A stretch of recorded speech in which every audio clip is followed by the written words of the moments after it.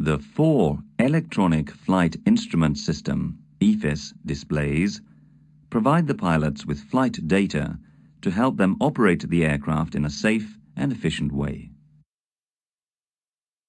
Flight parameters are displayed on primary flight displays, PFD, while navigation data is displayed on navigation displays, ND.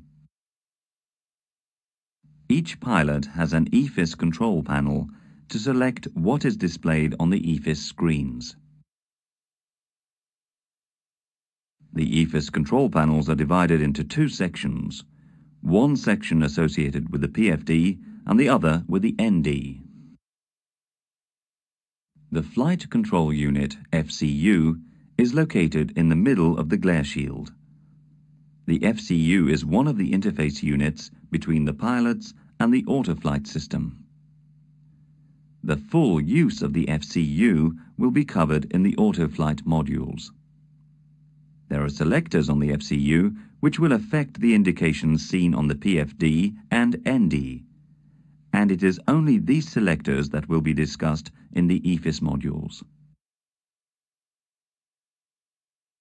The selectors, with associated indications, are provided for speed, heading track, altitude, vertical speed flight path angle, FPA.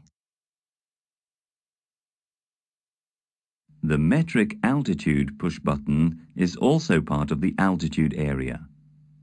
This push button is used to display the selected altitude in meters on the permanent data part of the system display.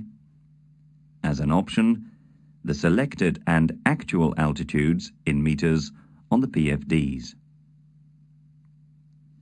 You will see how all these selectors affect the EFIS displays in the modules that follow.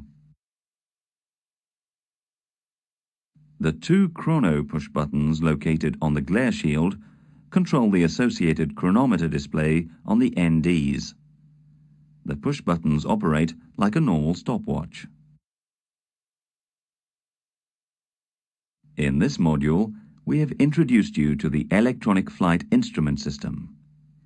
In the next modules, we will look at the PFD and the ND in greater detail.